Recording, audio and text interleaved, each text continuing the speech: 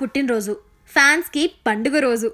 Megastar nine years gap తీసుకొని సినిమా చేస్తుండడం సరిగ్గా ఆ సినిమా షూటింగ్ టైంలో చిరు పుట్టినరోజు కావడంతో ఫ్యాన్స్ ఈ పుట్టినరోజుని చాలా గ్రాండ్గా సెలబ్రేట్ చేశారు. బర్త్డేకి వారం ముందు నుంచే తెలుగు రాష్ట్రాల్లోని వివిధ దేవాలయాల్లో ఫ్యాన్స్ ఏం చేశారో తెలుసా? చిరు వన్ ఫిఫ్టీయత్ మూవీ సంచలన విజయం సాధించాలని మెగా ఫ్యామిలీ ఎప్పుడూ హ్యాపీగా ఉండాలని కోరుతూ చాలా స్పెషల్ పూజలు జరిపించారు. అంతేకాకుండా పుట్టినరోజు నాడు చిరుని చూడాలి అని ఎక్కడెక్కడి నుంచో హైదరాబాద్కి వచ్చారు అయితే చిరుని చూద్దాం అనుకున్న వారి ఆశ నిరాశ అయింది.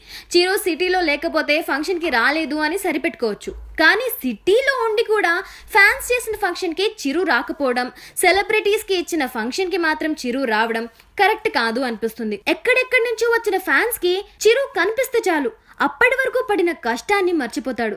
కానీ అలా జరగలేదు. ఒక్క చిరంజీవి అనే కాదు. హీరోలు కాస్త ఆలోచించండి.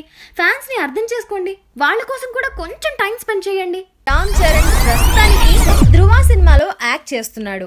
ఈ సినిమాని సురేందర్ రెడ్డి డైరెక్షన్లో అల్లు అరవింద్ ప్రొడ్యూస్ చేస్తున్నారు.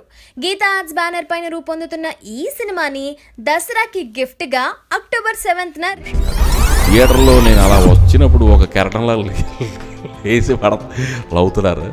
అలాంటి ప్రయత్న లోపం మళ్ళీ జరగకూడదు అనే ఒక కసితో తీసిన సినిమాయే ఈ చుట్టాలపై. విజయం వచ్చినప్పుడు నాది అనుకోకుండా